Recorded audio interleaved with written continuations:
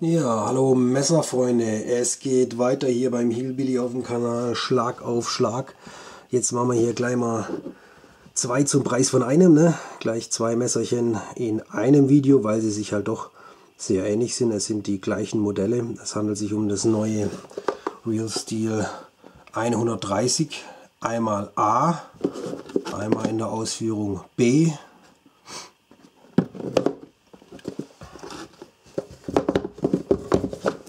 Und der Unterschied ist hier eben bei diesen kleinen Neckknives die Klingenform. Wir haben hier einmal eine Spearpoint Klinge und einmal die Warncliffe Klinge. Das ist der große Unterschied. Der Rest ist eigentlich gleich. Beide kommen mit einer Kydex und mit wieder einem Lanyard. Mit diesem äh, Verschlussknopf hier kann man sich das Teil um den Hals hängen. Ich persönlich ziehe Kugelketten vor. Aber schöne Messerchen, sau scharf, liegen auch gut in der Hand. Haben hier eine schöne sichere Fingermulde. Ne? Kannst einen Zeigefinger einlegen und Mittelfinger und Ringfinger haben auch noch Platz. Und hier an dieser kleinen Daumenrampe so ein bisschen Chimping greift jetzt nicht wahnsinnig hart, aber da kannst du nochmal schön Daumen auflegen oder so. Ne? Richtig schöner Brieföffner, ne? schöne gegroovte G10 Schalen, also muss man lassen, haben sie schön gemacht. Richtig schön griffig. Das Material an sich ist schon ein bisschen rau von der Oberfläche und dann natürlich durch die Grooves ebenfalls noch ein bisschen verstärkter Grip. Torx-Schrauben kann man abnehmen, dann sollte man mal hier an dem Lanyard rumspielen wollen. Hat man hier wieder diese kleinen Aussparungen in der Griffschale und im Stahlenloch. Kann man sich da was Dünnes durchbasteln. Serienmäßig kommt es hier mit diesen Mini-Lanyards dran. Muss ich sagen, jo, sieht aus wie so ein Schwänzchen da hinten dran. Schön ist was anderes. Man kann halt hier nochmal den, den kleinen Finger hier rannehmen, aber dafür ist es eigentlich fast zu dünn.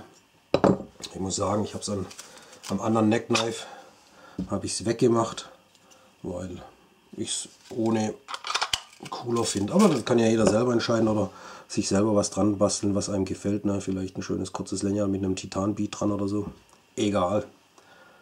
Ist ja gleich weg und wieder dran. Das andere Modell gibt es schön in Blaze Orange, ebenfalls mit schönen orangenen G10-Griffschalen und gegroovt. Muss ich sagen, jetzt so rein vom optischen, vom Aussehen her gefällt mir natürlich die, die Orangen. Erstens, Orange finde ich cool an solchen Messerchen. Und auch diese Spearpoint-Klinge finde ich jetzt ein bisschen schöner, allein schon vom Aussehen her, vom praktischen Nutzen her. Muss ich ja sagen, wenn du halt sowas schneidest, finde ich die Klingenform fast praktischer wie hier. Da kannst du nämlich bloß vorne die Spitze ansetzen, weil dir sind ja ständig die Finger im Weg. Ja, das ist Geschmackssache, was einem halt besser gefällt. Ich finde das Orangene hier ganz nett. Kannst du dann hier nochmal vorgreifen. Hier ist nochmal so eine Mulde. Ne? Da, da wäre ein bisschen Schimping drauf, auch nicht nur schlecht gewesen. Ne? Ein bisschen wie hier hinten. Da kannst du auch mal schön schneiden. Tolle Teile kommen hier beides in der Kydex. Sitzt, ja. Man spürt jetzt nicht irgendwie so, so einen Einraschpunkt, sondern es geht einfach rein und dann, dann sitzt es. Das Modell, da spürt man so einen Klicken. Natürlich eine anders geformte Klinge. Da konnten sie wahrscheinlich ein bisschen anders drin arbeiten. Die hier kommt so senkrecht raus, weil die ja hier so ein wenig schräg drin sitzen muss. Aber beides hält genietete Kydex kann man natürlich auch wieder ein kleines Padlock oder so dran machen, kann so einen Gürtel tragen. Muss man nicht unbedingt um den Hals tragen. Aber das ist ein nettes kleines Teilchen für, sag ich mal, ne?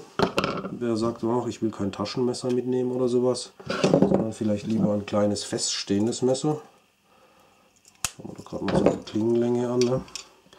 Das ist äh, eine Klinge wie bei einem 91er Victorinox aber wie man sieht im aufgeklappten Zustand um einiges kürzer. Ne? Also wer sagt, okay, mit so einer 91er Victorinox komme ich eigentlich schon ganz klar von der Klingenlänge. Hätte es aber gerne ein bisschen robuster, der kann hier mit so einem 3-Finger Fixblade wahrscheinlich prima zurechtkommen. Kydex an Gürtel, ne? Hier den das Schwänzchen hier abmachen.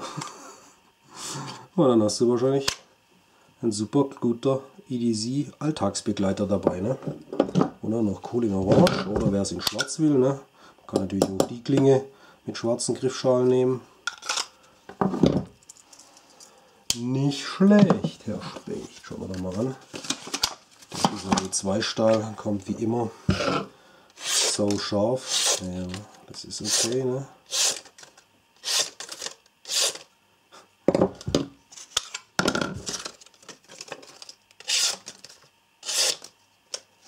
Beides hat einen Hohlschliff. Ja. Oh ja, die. Das ist natürlich eine schöne, lange, gerade Schneide. Da hast ja wirklich, ne, da verändert sich nichts irgendwie, dass es verhakt oder sowas. Ich sag mal, zum Schneiden ist das gar nicht so schlecht. Mit der langen, geraden Schneide arbeiten zu können, kann auch Vorteile haben. Schön. Modell 130B und 130a wird es ebenfalls geben am kommenden Wochenende bei der Markteinführungsaktion bei der Usaya Knife Distribution. Links natürlich wie immer drunter. Hier haben wir das gleiche Spielchen wie beim 127er Neckknife. Der reguläre Verkaufspreis wird dann nachher die 35 Euro sein, also 34,95. Aber beim Einführungstag soll es die Dinger dann für 30 Euro geben. Also ein Fünfer gespart. Warum nicht? Ne? 30 Euro, D2-Stahl, schönes G10, Kydex dazu, Lanyard. Besorgt man sich noch so ein Mini-Tech-Lock. Ich denke, so ein Teil ist ein interessantes Messerchen. Am Gürtel, Pullover drüber, wunderbar. Robuster, kleiner, praktischer Alltagsbegleiter. Also Leute, Wartet nicht zu lang nächstes Wochenende. Ich habe keine Ahnung, in welchen Stückzahlen die Dinger nachher verfügbar sind. Ich denke, er wird sich schon mit ein paar Kisten eingedeckt haben, aber ewig lang wird es die Dinger auch nicht auf Lager geben, beziehungsweise nur halt zwei Tage zu dem günstigeren Einführungspreis. Ne? Ich habe schon wieder Mails bekommen. Willst du mich arm machen? Oder was hat der eine geschrieben?